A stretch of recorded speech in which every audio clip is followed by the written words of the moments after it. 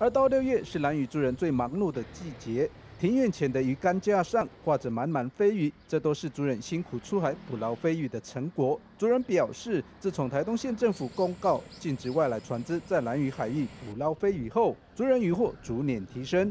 因为有驻点的三十吨的呃这个海防啊海巡署的那个船在这边，所以呃基本上蓝屿的整个飞鱼逐渐在增加，是这样子的，嗯。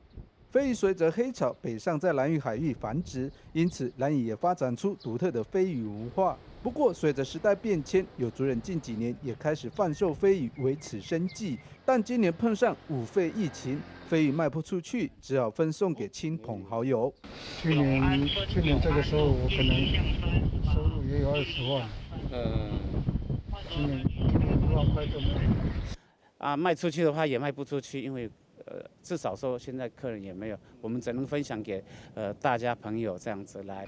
南屿今年非雨季节，在海巡署接护下，让族人雨获丰收。不过族人期盼五费疫情赶快远离，让所有产业都能回到正常状态。原视新闻小马大盛台东南屿采访报道。